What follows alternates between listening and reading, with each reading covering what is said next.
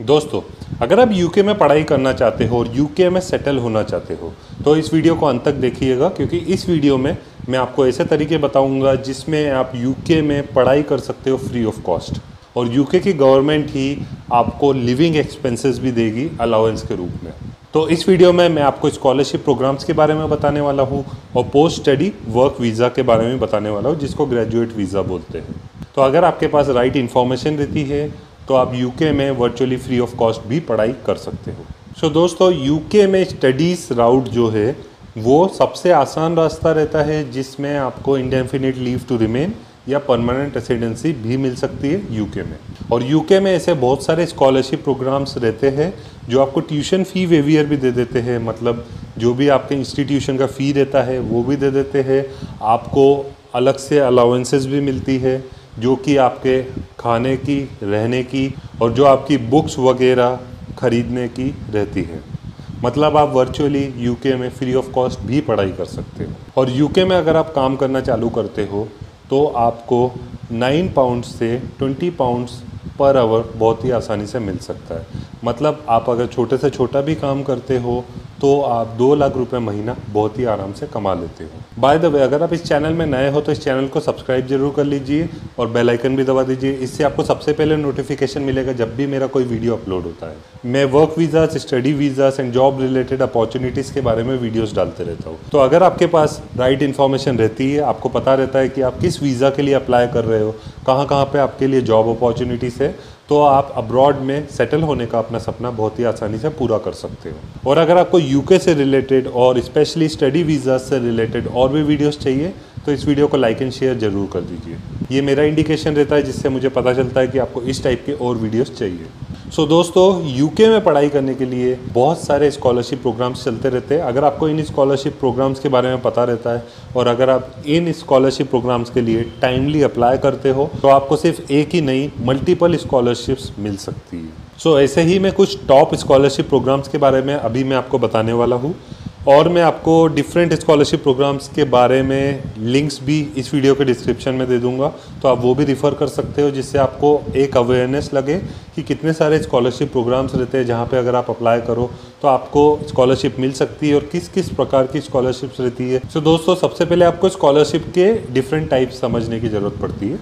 एक स्कॉलरशिप रहती है जो आपको ट्यूशन फ़ी वेवियर भी देती है और आपको अलाउंस भी देती है। यूके में रहने का, खाने का और आपकी जो भी किताबें वगैरह रहती है, उन सब के खरीदने का। इनफैक्ट आपको ट्रैवल अलाउंस तक मिलता है। कुछ ऐसी स्कॉलरशिप्स रहती है जो आपको सिर्फ़ ट्यूशन फ़ी वेवियर देती है, कुछ ऐसी स्कॉलरशिप्स रहती है जो आपको एक सर्टेन अमाउंट दे देती है। जैसे टेन थाउज़ेंड पाउंड या फिफ्टीन थाउज़ेंड पाउंड तक भी आपको स्कॉलरशिप मिल जाती है पर ईयर हर स्कॉलरशिप के डिफरेंट एलिजिबिलिटी क्राइटेरियाज रहते हैं। कुछ ऐसी स्कॉलरशिप्स रहती है जो आप यूके की कोई भी यूनिवर्सिटीज़ या कॉलेजेस में पढ़ाई करो, वो आपको स्कॉलरशिप मिल सकती है।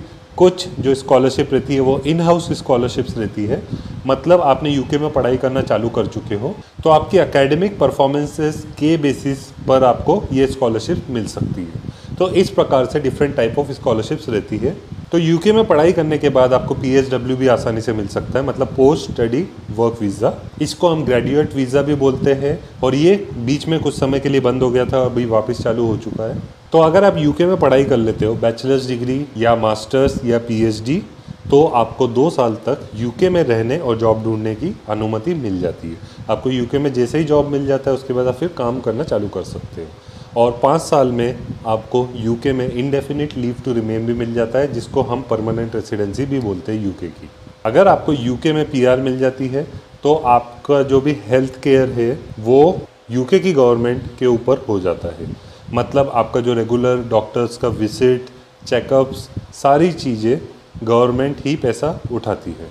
सिर्फ़ डेंटल को छोड़ के हर प्रकार का मेडिकल कॉस्ट आपके लिए यूके की गवर्नमेंट उठा लेती है। और आप जिस कंपनी में काम कर रहे हो, ये जो बचे कुछ एरिया है, जैसे आपको डेंटल इंश्योरेंस नहीं मिलता है यूके की गवर्नमेंट की तरफ़ से तो जैसे मान लीजिए आपको जो डेंटल इंश्योरेंस है, वो आपका कवर नहीं होता है तो जो कंपनी का हेल्थ इंश्योरेंस भी रहता है जिस भी कंपनी में काम करोगे, वो कंपनी आपको हेल्थ इंश्योरेंस भी प्रोवाइड करती है तो वो उसमें कवर हो जाता है। तो इसी प्रकार से आपकी जो हेल्थ की ज़िम्मेदारी है, वो पूरी यूके की गवर्नमेंट के ऊपर आ जाती है। दूसरी चीज़, आपके बच्चों की पढ़ाई भी फ्री हो जाती है। इनफैक्ट अगर आपके बच्चों को कुछ बैचलर्स या मास्टर्स डिग्री करनी है ऐसे बहुत सारे फ्री गवर्नमेंट कॉलेजेस रहते हैं, वहाँ पे भी आप उनको पढ़ा सकते हो।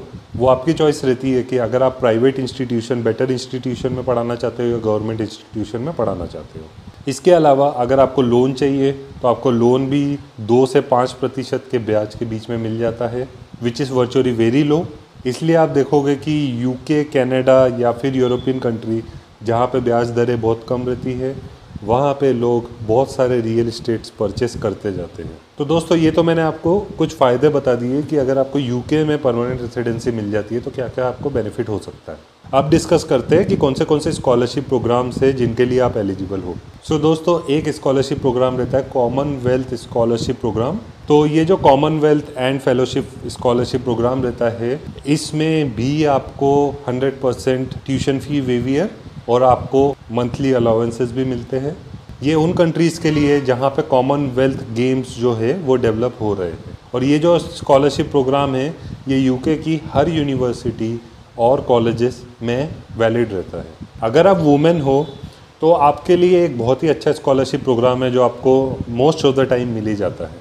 इस स्कॉलरशिप प्रोग्राम को बोला जाता है British Council scholarship program for women in STEM अगर आप कोई भी साइंस, टेक्नोलॉजी, मैथमेटिक्स या इंजीनियरिंग टाइप के प्रोग्राम में जाते हो और वहाँ पे पढ़ाई करते हो तो आपको ये स्कॉलरशिप मिलती है। ये जो स्कॉलरशिप है, यूजुअली आपको 50 परसेंट से 100 परसेंट तक स्कॉलरशिप प्रोवाइड करती है।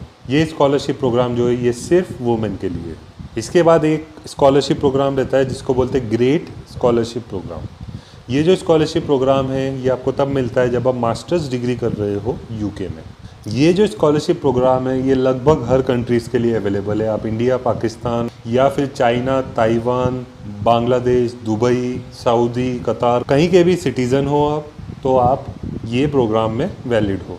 ये जो प्रोग्राम है यूजुअली आपको 35 परसेंट से 100 परसेंट तक ट्यूशन फ़ी वेवियर दे देता है और कुछ आपको मंथली अलाउंस भी देता है। अगर आप टीचर हो तो आपके लिए एक अच्छा स्कॉलरशिप प्रोग्राम है, जिसको बोलते हैं A S Hornby Trust scholarship ये स्कॉलरशिप सिर्फ़ इंग्लिश लैंग्वेज टीचर्स के लिए है।